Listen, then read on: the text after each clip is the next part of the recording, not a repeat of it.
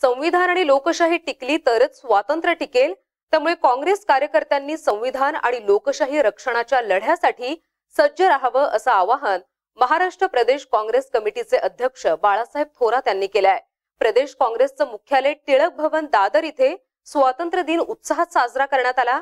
यावेळी सर्वांना शुभेच्छा देत आपल्या पूर्वजांनी मोठा संघर्ष करून आणि बलिदान देऊन देशाला स्वातंत्र्य मिळवून दिलंय. स्वातंत्र्यानंतर देशात लोकशाही रुजवली. पण दुर्दैवानं आज सत्ताधारी पक्षाचे लोक संविधान बदलण्याची भाषा करतायत. त्यामुळे संविधान आणि लोकशाही टिकवण्यासाठी काँग्रेस कार्यकर्त्यांनी लढा देण्याची गरज असल्याचं थोरात म्हणाले. त्याचबरोबर जे स्वातंत्र्य सैनिक आहेत त्यांनी जो त्याग केला त्यांचं त्यांना सुद्धा अभिवादन आपण सर्वजण करूया. आजच्या स्वातंत्र्य दिनाच्या या दिवशी एक दुःखाची संकटाची किनार ही आपल्याला आहे. की महाराष्ट्रामध्ये आणि देशामध्ये जी पूर परिस्थिती निर्माण झाली त्यामध्ये अनेकांना जीव गमावे लागले मोठी मनुष्यहानी झाली त्याबरोबर वित्तहानी झाली. त्या दुःखी असलेल्या जनतेबरोबर आपण सर्वजण आहोत ही संवेदना या निमित्तानं मी इथे प्रकट करतो आहे देशाचं स्वातंत्र्य मिळालं ते महात्मा गांधींच्या नेतृत्वाखाली चले जावची घोषणा एकोणीसशे बेचाळीसला झाली. आणि त्यानंतर जी चळवळ संपूर्ण देशामध्ये उभी राहिली सर्वसामान्य माणूस सर्व एकत्र एकजुटीनं इंग्रज सरकारच्या विरुद्ध लढायला उभा राहिला आणि ही आपण चळवळ यशस्वी केली. एकोणीसशे सत्तेचाळीस साली पंधरा ऑगस्ट एकोणीसशे सत्तेचाळीस साली देशाला स्वातंत्र्य मिळालं. भारतरत्न डॉक्टर बाबासाहेब आंबेडकरांच्या नेतृत्वाखाली आपली राज्यघटना निर्माण झाली. आणि ती राज्यघटना स्वीकारल्यानंतर आत्तापर्यंतची वाटचाल या देशानं लोकशाही पद्धतीनं केलेली आहे. देशाला अनेक संकटाला सामोरं जावं लागलं. चीनचं अति आक्रमण असेल पाकिस्तानचे निर्णय आक्रमण असतील या प्रत्येक ठिकाणी या देशानं अत्यंत समर्थपणे तोंड दिलं आणि त्यामध्ये विजय झालेला आपण सर्वांनी पाहिलेला आहे.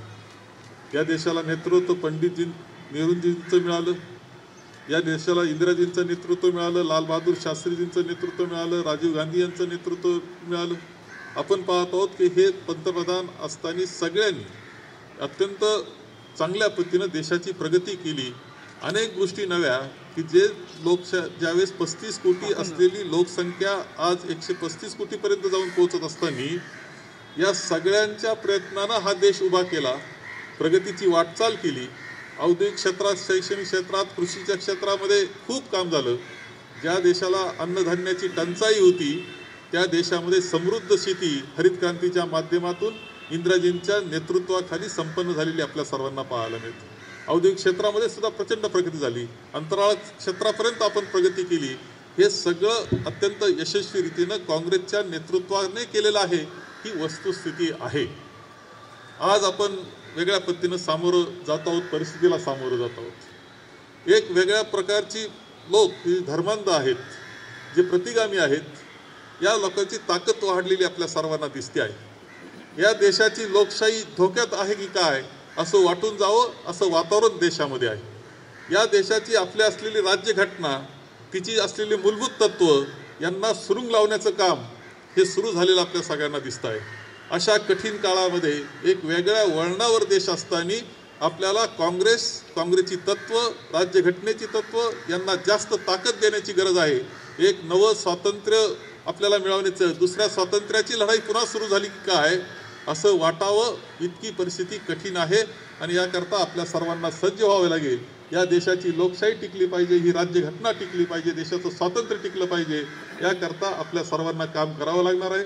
मी पंधरा ऑगस्टच्या आपल्या सर्वांना शुभेच्छा देतो आहे आणि त्याचबरोबर या कार्याकरता पुन्हा आपण सर्वांनी समर्थपणे उभं राहावं असं आवाहन करतो आणि माझे दोन शब्द